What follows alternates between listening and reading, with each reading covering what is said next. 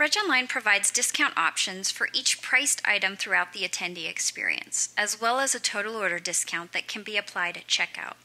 Let's first look at what the attendees see as they register for your event and all the options they have for entering discount codes. For this event, there are two registrant types, each with different pricing. You can set up different discount codes for each registrant type. So if someone registers as a speaker, they can enter the discount code that you've provided, and they'll see this discount on the checkout page. We'll continue through this registration. I'll fill out this personal information section. They'll continue on to the agenda. You'll see that they can enter discount codes. They'll see a $100 price. They can enter a discount code and see its impact.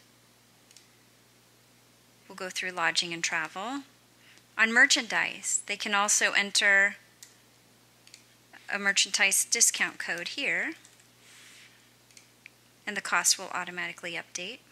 And now on the checkout page, we summarize all the discounts that they have applied the event fee, the agenda item, the merchandise, and then they have the option for also for a total order discount $10 off, and you'll see that applied at the end of the order. Now let's look at what you need to do to make these discount codes available to your attendees. To set up discount codes, navigate to the registration form,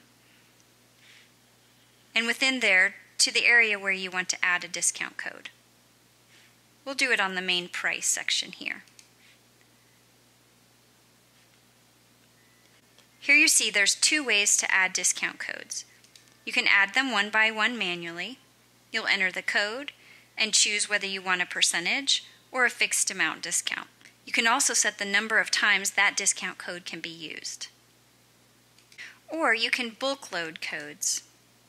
You simply follow a prescribed formula for entering new discount codes and separate them by commas.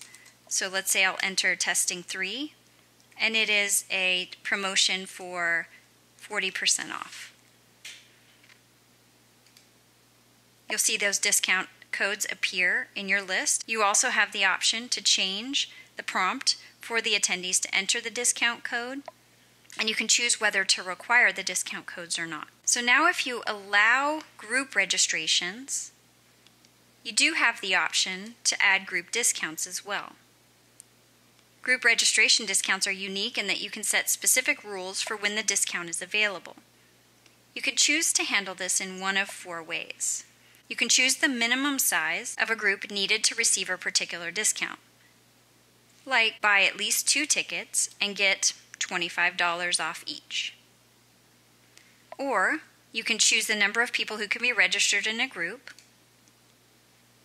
and then apply that discount to all members of that group.